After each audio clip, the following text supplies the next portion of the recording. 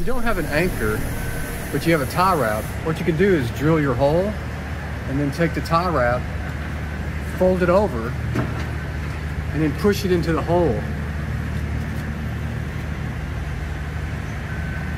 Once you have it firmly pushed into the hole, take some scissors or cutters, cut the excess off.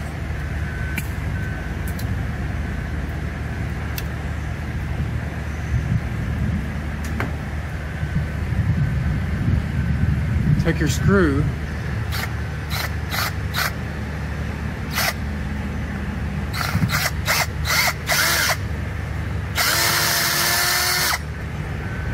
Just like that.